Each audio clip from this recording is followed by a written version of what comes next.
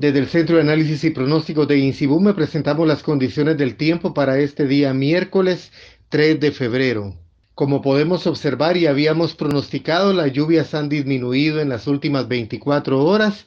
En cuanto al acumulado de lluvia de los primeros días del mes de febrero, resalta lo que es la región Caribe, franja transversal del norte y el departamento de Petén, donde se han presentado los mayores acumulados de lluvia.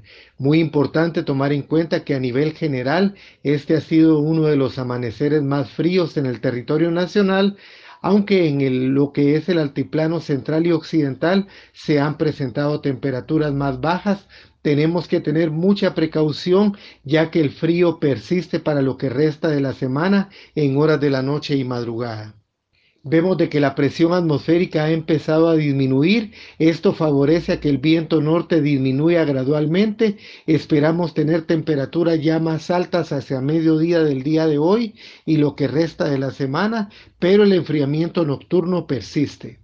Tenemos condiciones de cielo despejado en la mayor parte del territorio nacional. No se descartan algunas lluvias de corta duración, especialmente en la parte de Boca Costa y suroccidente, con mayor posibilidad a partir de mañana jueves. Vemos de que la lluvia disminuye en el territorio nacional. Esto favorece que mantengamos un ambiente cálido y brumoso durante el día, el enfriamiento nocturno donde pueden presentarse temperaturas aún más bajas de las que se presentaron el día de hoy en el territorio nacional.